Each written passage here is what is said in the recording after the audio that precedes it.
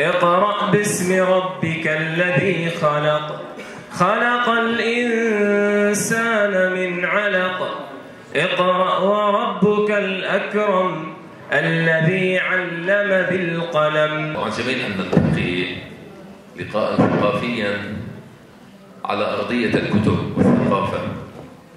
وأنا حقيقة سعيد جدا بمثل هذا النشاط وأشكر مديرية التربية والتعليم وعلى رأسها أخي الحبيب أستاذ عاطف الجمل. طبعا إحنا في مديرية التربية والتعليم هناك العديد من النشاطات التي نقوم بها من أجل توسيع الفكر والتثقيف لدى أبنائنا الطلبة ومن أهم هذه الفعاليات آه، والفعاليات مهمة جدا لدينا الاهتمام بالكتاب وخصوصا الكتاب التثقيفي والكتاب الذي يكون خارج إطار الكتاب المدرسي. آه، لاحظنا في الآونة الأخيرة تعود أبنائنا على الابتعاد عن الكتب واستخدام آه، التكنولوجيا الحديثة فقط لإخراج المعلومة أو تتبع المعلومة وهذا الأمر قد يؤدي في المستقبل إلى أمور سلبية وإلى ضياع للمعرفة وعدم التثبت من المعلومة بالشكل الحقيقي.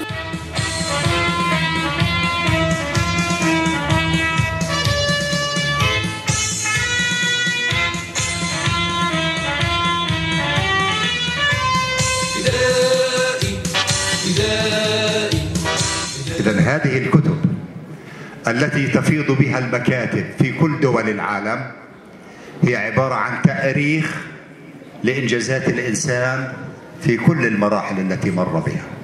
يحيرنا الغموض الذي يحيط بنا.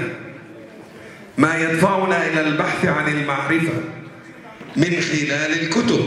اليوم نقوم بعمل معرض كتاب بالتشارك مع أو بالشراكة مع بلدية الخليل. هذا المعرض يستمر لمدة أربعة أيام.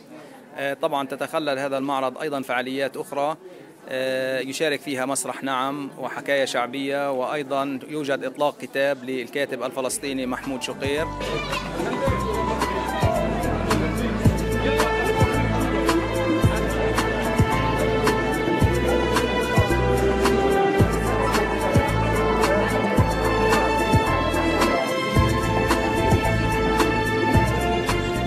معرض يعني يشارك فيه الطلاب المدارس المعلمون.